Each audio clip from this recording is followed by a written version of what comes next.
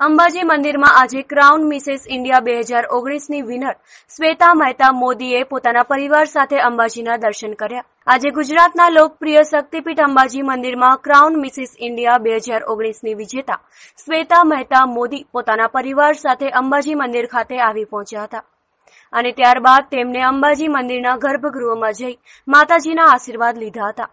પૂજારી દ્વારા તેમને આશીર્વાદ આપવામાં આવ્યા હતા. અને ચુંદડી ઓઢાડી બહુમાન કર્યું હતું. ત્યારબાદ તેમને અંબિકેશ્વર મહાદેવમાં શિવજીને જળ અર્પણ કર્યું હતું અને ત્યારબાદ માતાજીની ગાદી પર જઈ ભટ્ટજી મહારાજના આશીર્વાદ લીધા હતા.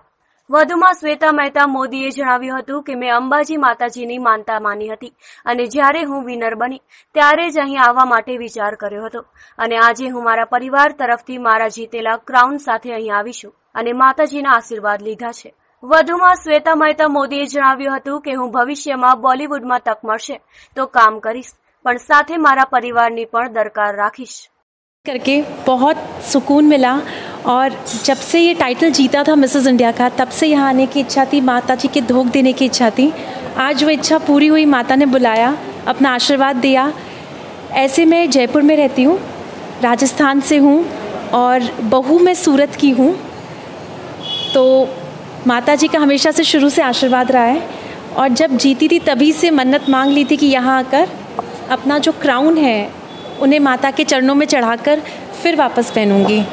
बहुत बहुत धन्यवाद आप सबका।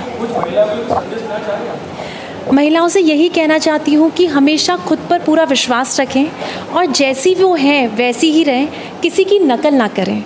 अपने पे विश्वास रखें, जो हैं बी योर सेल्फ़ जो है कि बी योर सेल्फ और हमेशा पॉजिटिव रहेंगे आप जितना पॉजिटिविटी अपने में रखते हैं या जितना पॉजिटिव आप अपने इन्वायरमेंट को रख सकते हैं, उससे आप आगे ऊंचाइयों को बहुत ऊंचाइयाँ छू सकते हैं।